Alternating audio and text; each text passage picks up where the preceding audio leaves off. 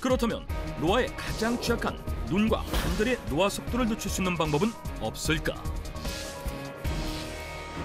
자연이 준 위대한 유산이라고 불릴 정도로 강력한 항산화 작용을 하는 황금빛 식재료가 바로 노화 속도를 늦출 수 있는 건강 재테크가 될 수 있습니다. 건강 재테크의 비밀이 다름 아닌 황금색 식재료? 어떤 이유로 황금색을 띠는 식재료가 노화를 늦출 수 있다는 것일까? 황금색을 띠는 바나나, 레몬, 생강 등의 yellow food에는 카로티노이드라는 성분이 풍부한 것이 특징으로 세포 노화를 일으키는 활성산소를 제거하고 재생을 도와 노화를 막는 열쇠가 될 수 있습니다. 우리가 몰랐던 황금색 식재료의 비밀. 노란 색소안에 풍부한 카로티노이드는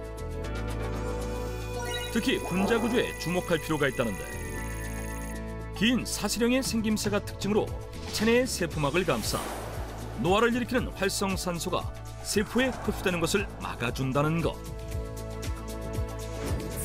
실제 카로티노이드의 분자 구조가 세포의 산화를 방지하고 노화 예방에 도움이 된다는 연구 논문을 확인할 수 있었다. 건강한 노후의 필수. 눈과 관절 100년 사용법.